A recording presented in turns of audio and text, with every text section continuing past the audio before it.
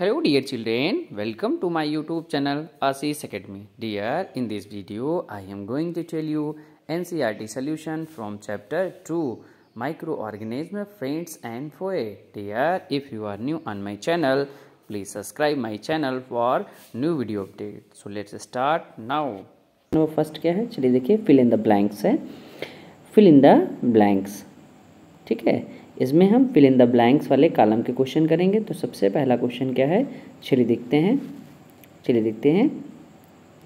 Micro organism can be seen with the help of मतलब जो microorganism होते हैं, किसके हेल्प से देखे जाते हैं? तो किसके हेल्प से? तो इसका हो जाएगा आपका option microscope that means micro organism can be seen with the help of microscope next देखिए। Blue green algae fix directly from the air and enhance the fertility of the soil. ठीक है? तो क्या होते हैं? Blue green blue green algae जो होते हैं, वो फिक्स क्या कर देते हैं? नाइट्रोजन को फिक्सिंग करने में हेल्प करते हैं। ठीक है? और वो directly from the air and enhance the fertility of the soil next question क्या है? शी देखिए। Alcohol is produce with the help of जो एल्कोहल होता है, वो किसके हेल्प से प्रोड्यूस्ड होता है? तो इसका क्या हो जाएगा? यीस्ट से। ठीक है? तो पहले में क्या होगा? माइक्रोस्कोप सेकेंड में हो जाएगा नाइट्रोजन थर्ड में yeast okay students next question देखिए। डी क्या है? कॉलरा इज़ काज्ड बाई जो कॉलरा होता है, वो डिज़ीज़ होता है, वो किसके कारण होता है? तो ये किसके कारण होता है? वो बैक्टीरिया या विवरियो कोलेरा इसका जो साइंटिफिक नेम है। ठीक है? तो cholera is caused by bacteria next question क्या है?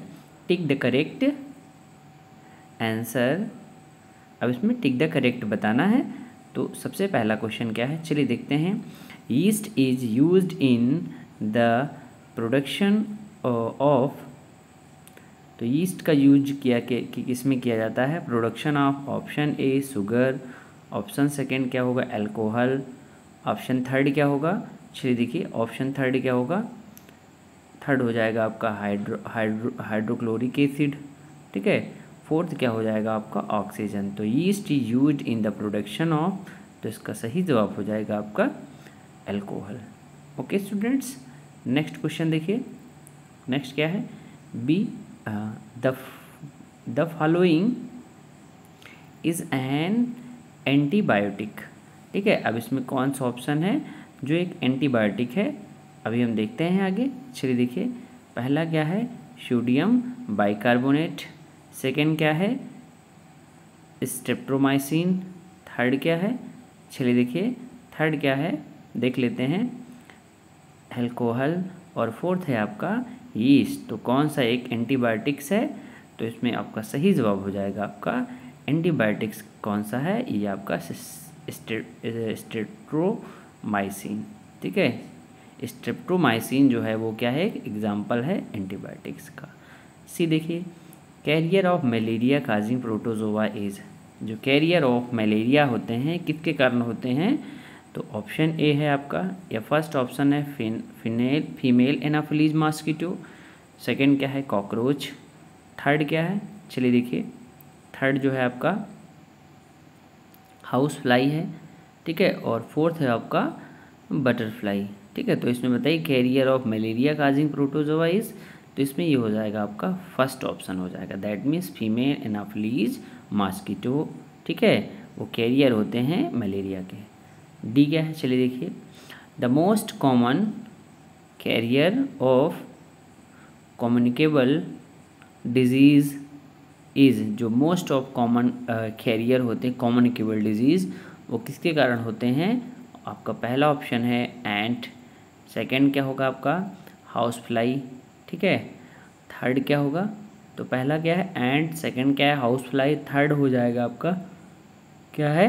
थर्ड होगा ड्रैगन फ्लाई और फोर्थ हो जाएगा आपका स्पाइडर तो इसमें बताइए the most common carrier of communicable disease तो इसमें हो जाएगा आपका हाउस फ्लाई ओके स्टूडेंट्स समझ में आ रहा है? ये समझ में आ रहा है तो वीडियो को लाइक करें। नेक्स्ट ई देखिए। द ब्रेड और इडली ठीक है? Dough rise idli dough rise is because of ठीक है? जो इडली और डोसा जो बनता है ठीक है? वो राइजेज होता है किसके कारण? ए हीट सेकेंड क्या होगा? ग्रीडिंग करके ठीक है? और फ़र्स्ट uh, क्या है? हीट सेकेंड क्या होगा? ग्रीडिंग थर्ड uh, हो जाएगा ग्रोथ ऑफ़ ईस्ट सेल्स या फोर्थ हो जाएगा नीडिंग करके तो आप जल्दी से बताएँ द ब्रेड और idli dough rises because of growth of yeast cells okay students ये आपका हो जाएगा थर्ड ऑप्शन नेक्स्ट क्वेश्चन देखिए. The process of conversion of sugar into alcohol is card ठीक है? Process of conversion of sugar into alcohol option A nitrogen fixation option B या second option क्या होगा? मोल्डिंग। ऑप्शन थर्ड क्या होगा? चलिए देखते हैं। ऑप्शन थर्ड होगा, या फिर फर्मेंटेशन या फोर्थ हो जाएगा इन्फेक्शन तो जल्दी से बताएँ the process of conversion of sugar into alcohol is car तो इसका सही जवाब हो जाएगा आपका फर्मेंटेशन ओके स्टूडेंट्स समझ में आया? आगे देखिए नेक्स्ट क्वेश्चन क्या है? क्वेश्चन नंबर थर्ड क्या है? Match the organism in column A with their action in column B okay student तो इसमें मैच द कॉलम है। चलिए देखते हैं। आगे कौन सा क्वेश्चन है? मैच द कॉलम में। चलिए देख लेते हैं। मैच द कॉलम में क्या है? बैक्टीरिया दिया हुआ है काजिंग कॉलरा तो ये क्या होगा? मैच द कॉलम बैक्टीरिया किसके हो कारण होता है? काजिंग कॉलरा राइजोवियम क्या करता है? नाइट्रोजन फिक्सिंग में हेल्प करता है। लैक्टोबैसिलस क्या होता है? सेटिंग ऑफ़ कर्ड मतलब कर्ड में हेल्प करता है कर्ड को कन्वर्ट करने में। ईस्ट क्या होता है? बेकिंग ऑफ़ ब्रेड अब प्रोटोजुआ क्या होगा? काजिंग मलेरिया और वायरस क्या होगा? अवायरस जो होगा काजिंग एड्स ठीक है? ये सब के मैच दिए हुए हैं। ए का ई के साथ किया गया है। अब क्वेश्चन नंबर फोर देखिए। Can micro organism be seen with the help of with the naked eyes if not how can they be seen मतलब क्या माइक्रो ऑर्गेनिज्म को हम नेक डाइज से देख सकते हैं? ये नहीं देख सकते तो हम किससे देख सकते हैं? तो इसका आंसर हो जाएगा micro organism can not be seen by naked eyes क्योंकि हम अपने नेक डाइज से नहीं देख सकते हैं। दे आर वेरी स्मॉल बहुत छोटे होते हैं। They can be seen by using a microscope only microscope के हेल्प से हम माइक्रो ऑर्गेनिज्म को देख सकते हैं, और कहा जाए उन्हें हम ऐसे नहीं देख सकते हैं नेक डाइज से। नेक्स्ट क्वेश्चन क्या है? What are the major group of micro organism major group कौन कौन से हैं माइक्रो ऑर्गेनिज्म के? उनका नाम बताना है। तो आप आगे देखिए। तो पहला क्या होगा? The major groups of micro organisms are as follows ठीक है? तो नीचे दिए गए हैं। तो इसमें सबसे पहला क्या होगा? तो सबसे पहला हो जाएगा आपका बैक्टीरिया। सेकेंड क्या होगा? फंगी। थर्ड क्या होगा आपका? प्रोटोजोआ। ठीक है? और ये फोर्थ क्या होगा? फोर्थ हो जाएगा आपका एल्गी और फिफ्थ हो जाएगा आपका वायरस। ये मेजर ग्रुप्स हैं micro organism bacteria fungi protozoans algae and virus next question क्या है? Name the micro organism which can fix atmospheric nitrogen in the soil तो ऐसे कौन सा ऑर्गेनिज्म का नाम बताना है जो नाइट्रोजन फिक्सिंग में हेल्प करता है? तो इसका हो जाएगा आपका राइजोवियम बैक्टीरिया है, जो नाइट्रोजन फिक्सिंग में हेल्प करता है। ओके स्टूडेंट्स समझ में आ रहा है? क्वेश्चन नंबर सेवन देखिए।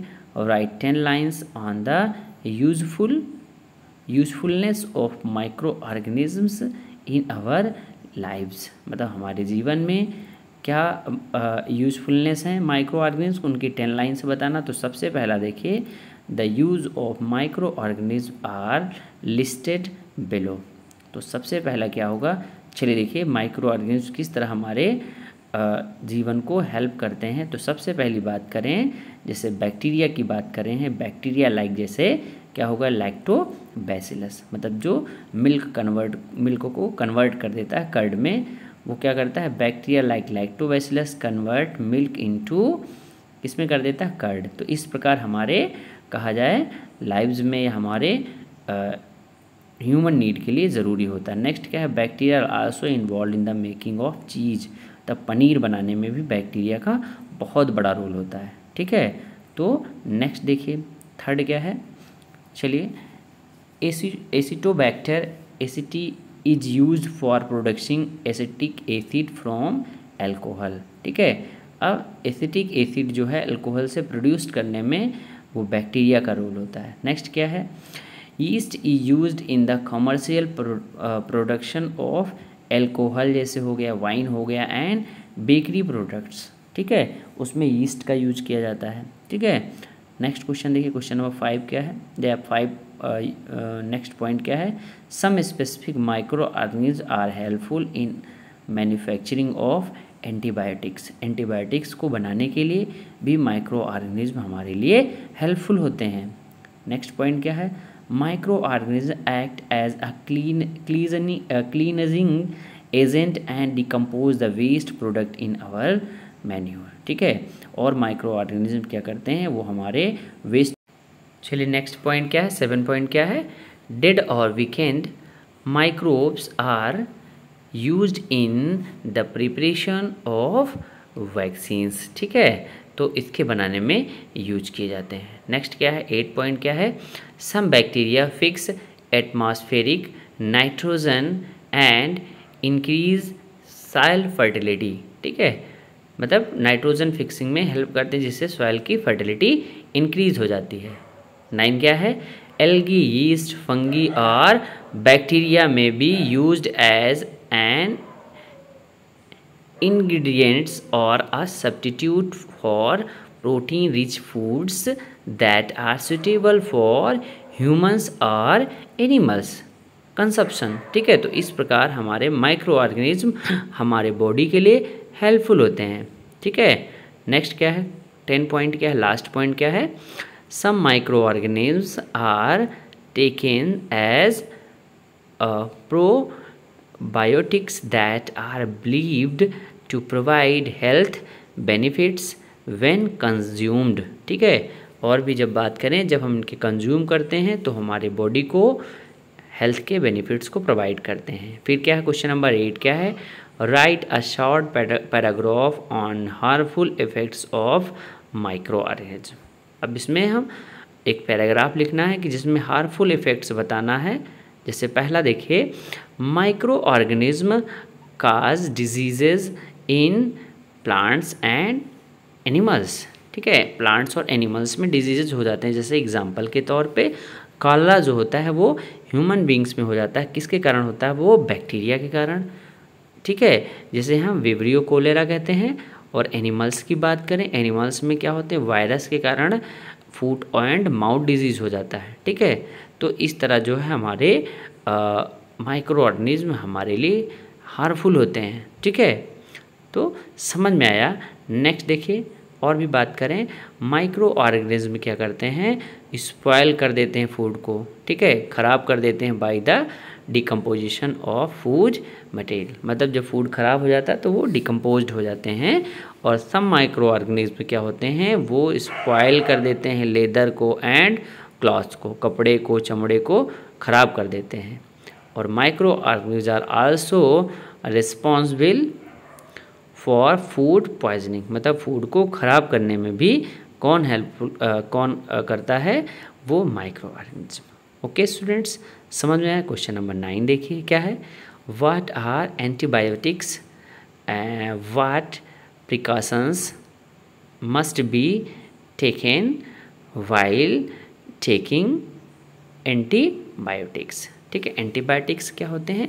उनके क्या प्रिकॉशंस होते हैं जब हम एंटीबायोटिक्स लें? तो सबसे पहले देखिए chemical agents that kill or stop the growth of disease मतलब जो रोगों को ग्रोथ को ख़त्म कर देते हैं या माइक्रो ऑर्गेनिज्म को ग्रोथ को ख़त्म कर देते हैं, उन्हें हम एंटीबायोटिक्स कहते हैं। ठीक है?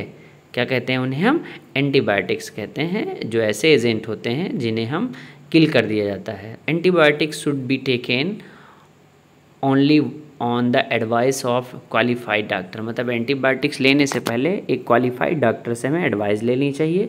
Also one must complete course prescribed by the doctor ये बिना डॉक्टर से हमें दवा नहीं लेनी चाहिए। Thank you for watching the video if this video helped you please hit the like button do share the video with others so they can learn from this topic. Do subscribe my channel for new video update